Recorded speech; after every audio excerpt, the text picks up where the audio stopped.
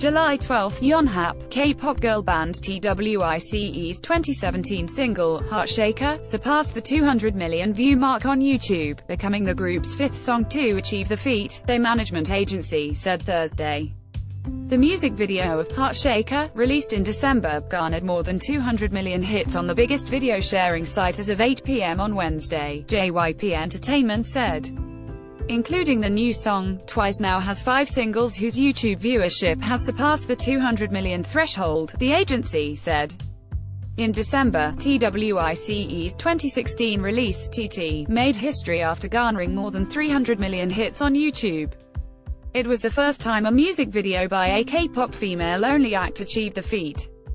Three other Twice songs, Cheer Up, UA, ah, and Likey, exceeded the 200 million mark in August and November last year and March this year, respectively.